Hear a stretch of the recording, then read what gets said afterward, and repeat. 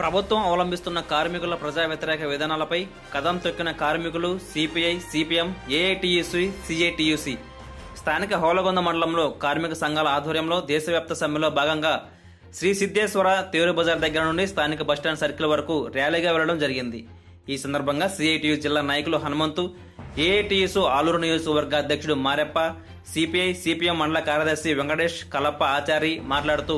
కేంద్రంలో ఉన్న బీజేపీ ప్రభుత్వం ఉద్యోగ కార్మికుల ప్రజా వ్యతిరేక విధానాలను అవలంబిస్తోందని కార్మిక చట్టాలు నిర్వీర్యం చేస్తూ కార్మికులకు ఎలాంటి భద్రత లేకుండా చేస్తుందని కార్మిక చట్టాల సవరణ విద్యుత్ సవరణ చట్టం వెంటనే ఉపసంహరించుకోవాలని లాక్డౌన్ కాలంలో ప్రతి కుటుంబానికి ఏడు వేల ఐదు వందల రూపాయలు ఇవ్వాలని ప్రైవేట్ అధ్యాపకులకు ఉపాధ్యాయులకు లాక్డౌన్ కాలంలో ఆరు నెలల పాటు పదివేల రూపాయలు ఆర్థిక సహాయం చేయాలని ఈఎస్ఐ పీఎఫ్ సౌకర్యం కల్పించాలని గ్రామ సేవకులకు అంగన్వాడీలకు ఆశా వర్కర్లకు వెలుగు ఎలిమెంటర్లకు పంచాయతీ కార్మికులకు స్వచ్ఛ భారత్ కార్మికులకు వివిధ రంగాల కార్మికులకు అందరికీ కూడా ఉద్యోగ భద్రత కల్పించి ఈఎస్ఐ పీఎఫ్ సౌకర్యం కల్పించాలని వారు డిమాండ్ చేశారు.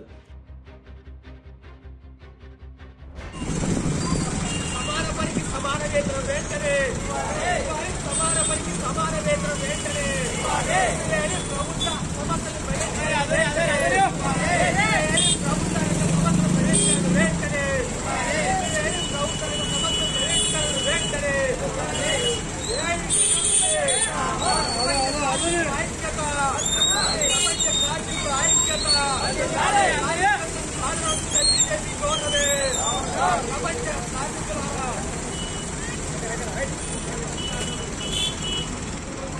వెంటనే ఏ చూసి ఏ చూసి ఏ చూసి